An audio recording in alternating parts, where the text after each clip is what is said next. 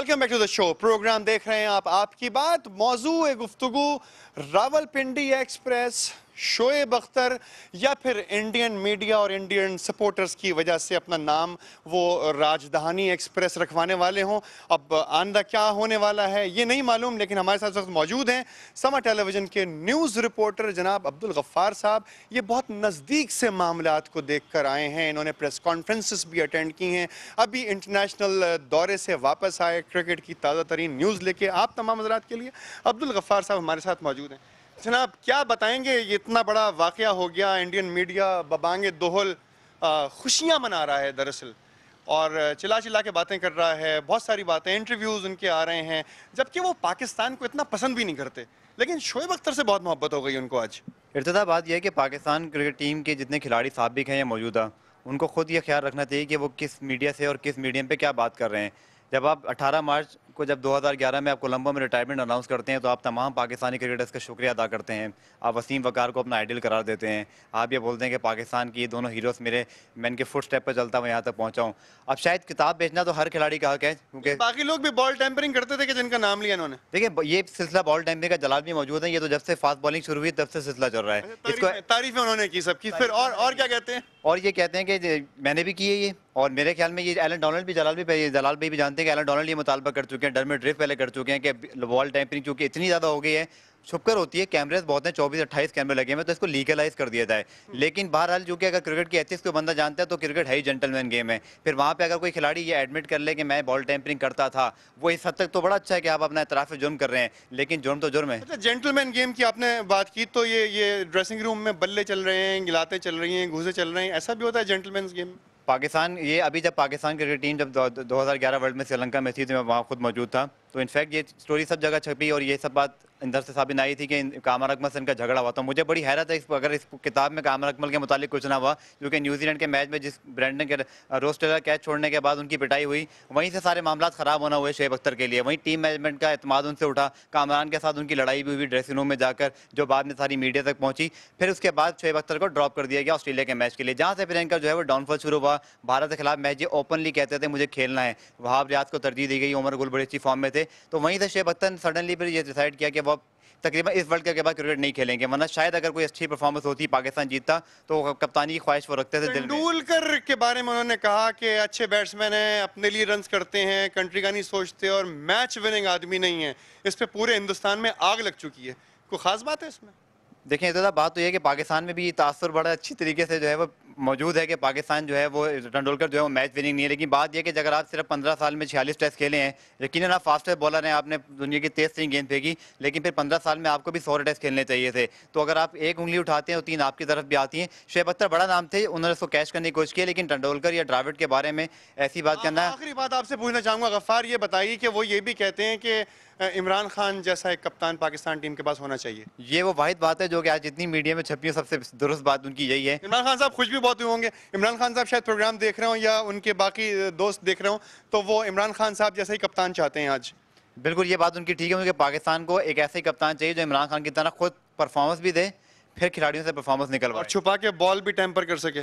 اور لیکن چونکہ وہ اتنا بڑا نام تھا کہ وہ بات بہت پیچھے رہ گئی اور بہت سارے کارنامے جس طرح کے باٹل ٹاپ سے جو بال ٹیمپرنگ ہوا کرتی تھی جس پہ الزامات بھی لگے انہوں نے کہا بھی ہاں میں کرتا تھا تو وہ ابھی بھی چاہتے ہیں کہ کپتان عمران خان صاحب جیسا ہی ہونا چاہیے کوئی۔ خیر مجھے بتائیں شاہد صاحب آپ کوچنگ کرتے ہیں تو کیا سکھاتے ہیں ان نوجوانوں کو؟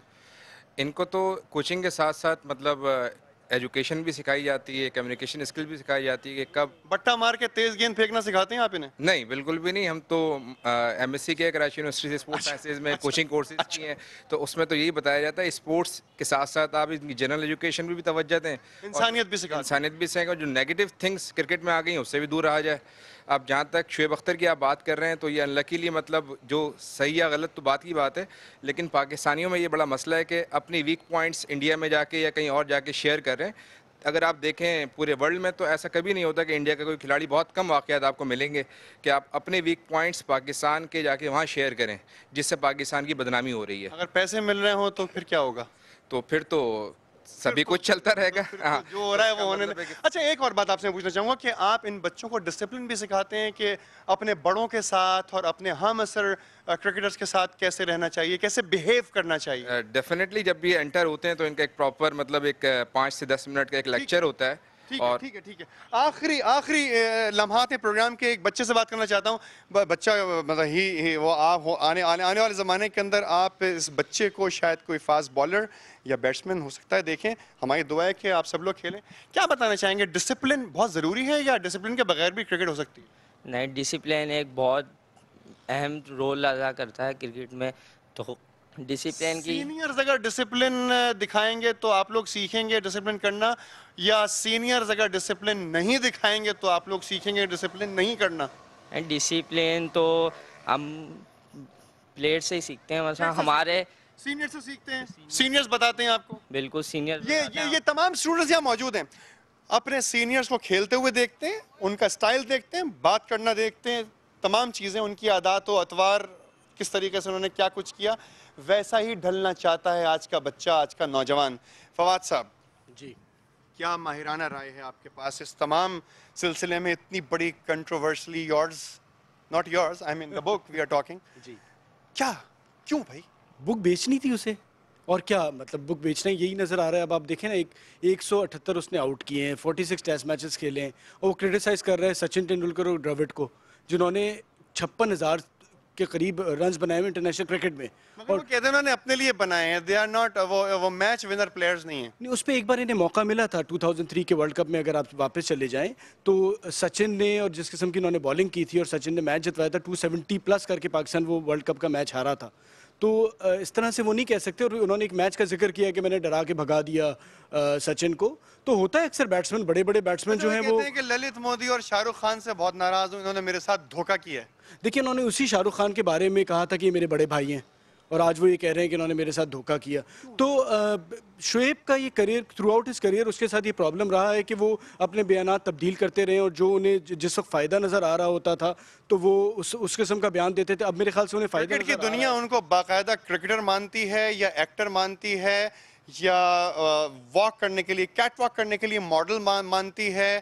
یا کسی اور ایکٹیوٹی میں ماہر مانتی ہے؟ دیکھیں نو ڈاؤٹ وہ فاسٹس بولر رہے ورلڈ کے لیکن ان کے ساتھ یہ تھا کہ وہ اپنے آپ کو پروموٹ کرتے تھے پروموٹ لیکن ان کا طریقہ کار ڈیفرنٹ تھا۔ وہ کانٹروورسیز میں رہتے تھے ڈسپلن پہ ان پہ ہمیشہ ان سے کہا گیا کہ انہوں نے ڈسپلن آئنٹیفائی کرنے کی کوشش کی کہ انہیں کس لائن میں جانا چاہیے؟ جب وہ کرکٹر بننا چاہتے تھے تو ان کے دماغ میں ایکٹر بننے کیسے خیال آیا؟ دیکھیں ایک تو پہلے پرانے ماضی کے جی۔ واقعات جو تھے ان سے انہوں نے سبق نہیں حاصل کیا کیا؟ ایک تو پہلے میں یہ کہوں گا کہ وسیم اکرم کو بھی انہوں نے کرٹیسائز کیا کہ میرا کریئر ختم کرنے میں ان کے بھی وہ بھی چاہتے تھے، انہوں نے مجھے بڑا کریئر کے دوران تنگ کیا۔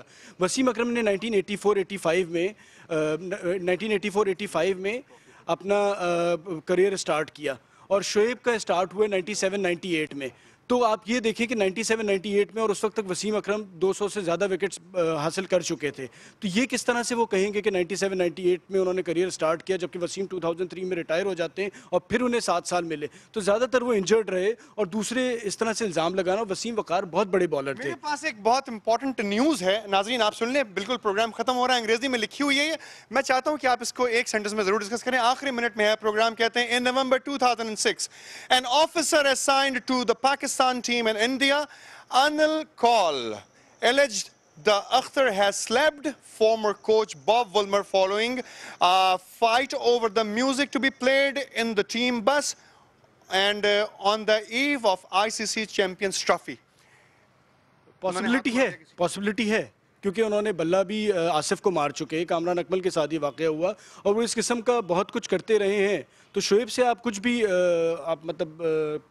کر سکتے ہیں کوئی بھی توقع کی جا سکتی ہے کوئی بھی توقع کی جا سکتی ہے۔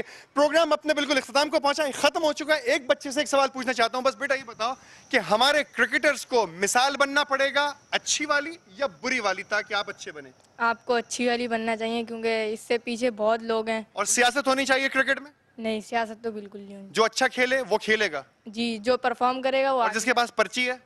وہ تو کھلے گا کیونکہ آج کل تو پرچی والے کھیل بچے کا آپ نے مائنڈ سیٹ دیکھ لیا. Thank you very much for all of you کہ آپ نے ٹائم دیا and very much for all the team بات یہ ہے کہ وہ کہتے ہیں کہ مجھے للت مودی نے اور کیا نام ہے، ان کا شاہ رخ خان نے جو ہے وہ میرے ساتھ وشواس گھات کیا، مجھے دھوکہ دیا، انہوں نے مجھے بیوقوف بنایا۔